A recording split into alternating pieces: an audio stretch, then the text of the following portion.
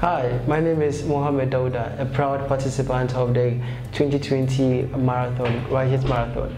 So I'm very proud to be a part of this um, initiative um, as a writer, it has really, really added to my CV in the sense that I've been able to write more than I used to write.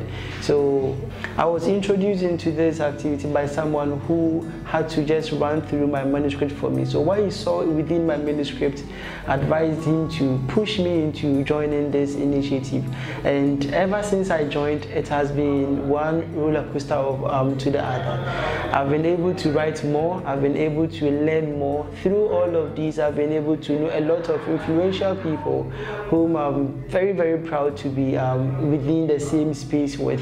So for me, I'm very, very happy to be a part of this marathon. It has really taught me a whole lot and I'm willing to do this over and over and over again, given the opportunity to do so. Thank you.